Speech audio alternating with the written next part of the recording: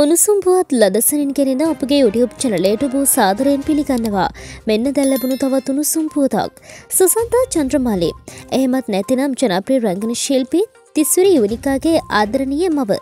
ප්‍රවීණ රංගන ශිල්පිනියක් වන ඇය ඇගේ ජීවිතයේ වඩාත්ම අභියෝගාත්මක කාලයට මුහුණ දුන් බව ඇයට ආදරය කරන කවුරුත් හොඳින් දන්නවා. ඒ ඇය පිළිකා රෝගයට ගොදුරවීම නිසාවෙන්. ඉක්මන් වෛද්‍ය ප්‍රතිකර හමුවේ ඇයි සුවෙන් පසුවන බව පසුව දැනගන්න ලැබුණේ ඇයට ආදරෙක් කරන කාගෙත් ආශිර්වාදයක් එක්ක. කෙසේ නමුත් නැවත ඇයම රෝගයට ගොදුරවී ඇති බවයි දැනගන්නට ලැබෙන්නේ. ඒ පිළිබඳව ඇසිය ෆේස්බුක් ඉන්මෙහි මෙස සඳහනක් තබා තිබූ අතර ඇයට ඉක්මන් සුව පතමින් බොහෝ පිරිස් විවිධ සටහන් තබා තිබෙනවා. ඒ අතර ඇය සමග ප්‍රතිකාර ලැබූ අයකු තැබූ සටහනක් තමයි මේ.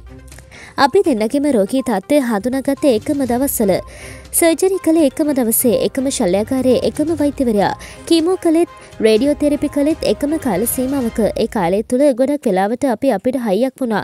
ප්‍රතිකාර අවසන් වුණට පස්සේ වරින්වර වෛද්‍ය පරීක්ෂණ කරන්න උනෙත් එකම දවස්සල පහුගේ ජනවාරයේ ඒ කළ පරීක්ෂණයකින් සුසන්තාකට නැවත පිළිකා තත්ත්වයක් ඇති වෙලා කියලා දැනගන්න ලැබුණා.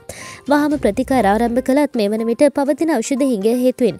ඒවා පෞද්ගලික අංශයෙන් මිලදී ගන්න වෙලා තියෙනවා ඊට ලක්ෂ විසි හතරක් පමණ අවශ්‍යයි ඒ මුදල සොයාගන්න දරන උත්සාහයන් අතරින් එකක් මේ. හැකි අයුරින් ඔබටත් ඊට දායක වෙන්න පුළුවන් එහෙම හැකියාවක් තියෙන අය අතරේ කරුණා කරලා මේ බෙදාහරින්න. මෙවැනි උණුසුම්පුවත් ලදසනින් දැන ගැනීමට අපගේ YouTube චැනලය සබස්ක්‍රයිබ් කර බෙලයිකනය ක්‍රියාත්මක කරන්න.